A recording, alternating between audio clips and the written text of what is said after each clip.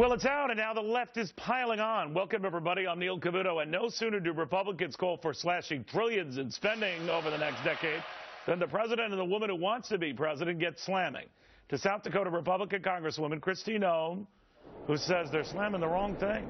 Congresswoman, good to see you. What they're saying is your budget doesn't help the middle class. What they want to do does. What are you saying? This budget that the House is putting forward is going to create an opportunity uh, economy. And that's exactly what we need to do to make the kind of investments in this country and take care of the priorities of the federal government. This budget will actually balance. That's something the president's budget has never done. In fact, even when he increases taxes, he still doesn't balance his budget.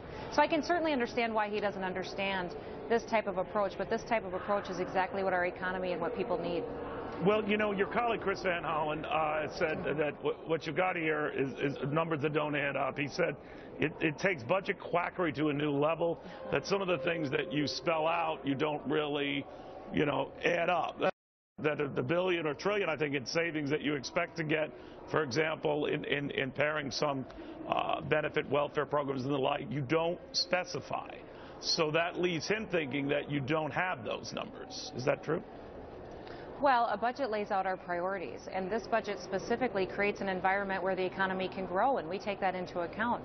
We expect by enforcing these policies and putting them into law in future bills that it will grow our economy, will create jobs, will protect hardworking taxpayers that are trying to make their paychecks uh, go even farther every single day. And it also makes sure that we secure our national security issues and our defense and make sure we have the kind of resources that we need to keep our men and women in the military trained and resourced. All right, so the one trillion in unspecified cuts for food stamps, welfare, and the like, uh, are you getting that figure by the, the type of growth you see once they're shifted, or a lot of them to states? Is that what you were getting at?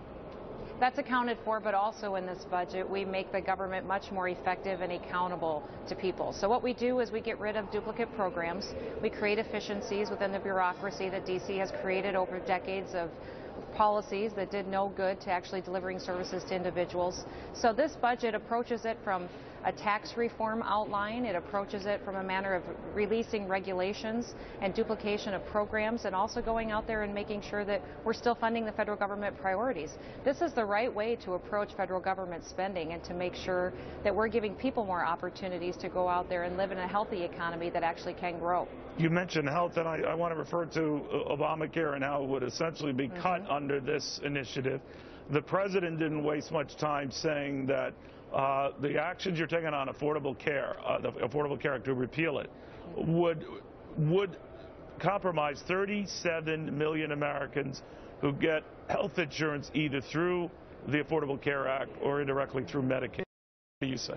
Well, the budget does repeal Obamacare, but we also have a replacement bill that takes care of those individuals. You know, it wasn't just Obamacare or nothing. We have some alternatives that are patient-centered, let people make their own decisions into the future, create more competition out there that's going to drive down costs. Obamacare has been a disaster, and we've seen that. So in this bill, we repeal it, but we also go back in and stop the way that uh, the mechanism that Obamacare is raiding Medicare. And that's one of the big downfalls of Obamacare is that it's gone in there and jeopardized those programs that so many of our seniors rely on as well. You know what? It is amazing in this environment, and, and it is a toxic environment to your, your point at the outset, Congresswoman, that you are still going to be spending under this plan, I think, about $43 trillion over the next mm -hmm. 10 mm-hmm. years uh, versus the president's plan, which is closer to 47 to 48 trillion. Um, so you're both, that is, both sides are spending a lot of money over the next 10 years. Mm -hmm. Nothing is being cut per se as much as the growth in some programs are being cut. Yet that is deemed inhuman and inhumane. How can you guys ever get together on this type of entitlement reform if even curbing the growth in a program mm -hmm. is deemed Freddy Kruegerish?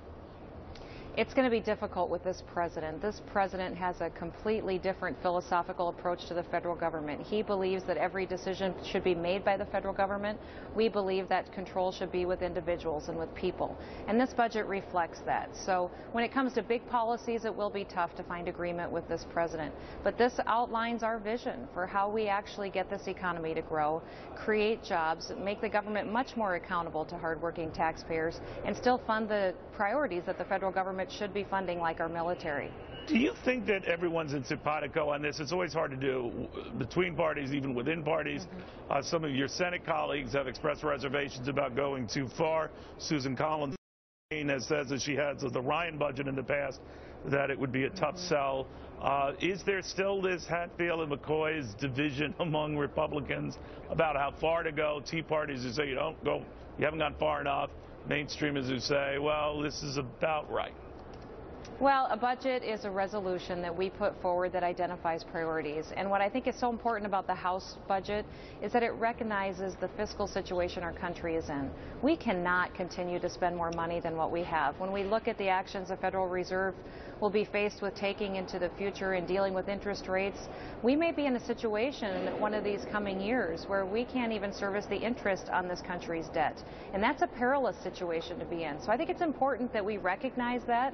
We take action to make sure that we're putting our fiscal house in order and start figuring out a way to pay down that debt. For me, Neil, this has always been a moral issue. We should not be leaving this debt for our kids and our grandkids. That's why I ran to come to Washington, D.C., was to make tough decisions. And this budget funds the priorities that the federal government should be funding and returns power back to the states and the people to make decisions that they should have the control over. Now, I noticed in your budget, as I did in the president's, that they, they kind of factor in interest rates being about where they are right now. Mm-hmm. Um, yep. They tick up in the latter part of the, the, the, decade. But by and large, where they are now, which seems to me to be quite unrealistic, that, that even mm-hmm. the Federal Reserve today, as you know, Congresswoman, uh, has hinted that rates are at least going to go up later this year. And who knows how much further after that. So do you think that this budget you've got is real? Well, I think it certainly is uh, what a budget should do. It should lay out your priorities and what we're hoping to accomplish through legislation over the next year. And certainly, uh, the Senate has the opportunity to do their budget. The President has shown us his budget. His budget was by far the most unrealistic document that I've seen in years.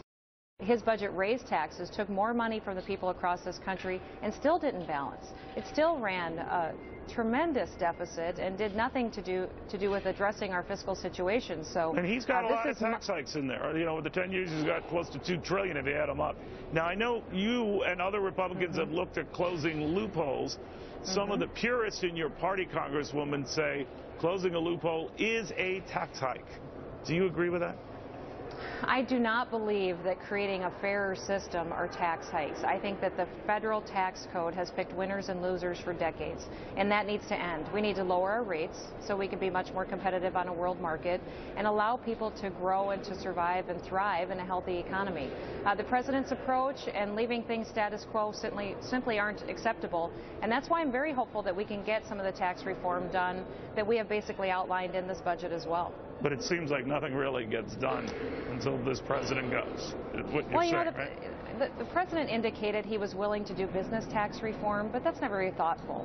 Um, he doesn't address pass-through entities. He doesn't address individuals. Uh, we have a very unfair tax code in all different brackets, and all need to be addressed. So I'm very much in favor of doing comprehensive tax reform. If uh, this guy isn't going to do it, then we will do all that we can to protect as many people as possible and wait until we have a better leader. All right. Congresswoman, always good seeing you. Thank you very much, Kristi. Yeah.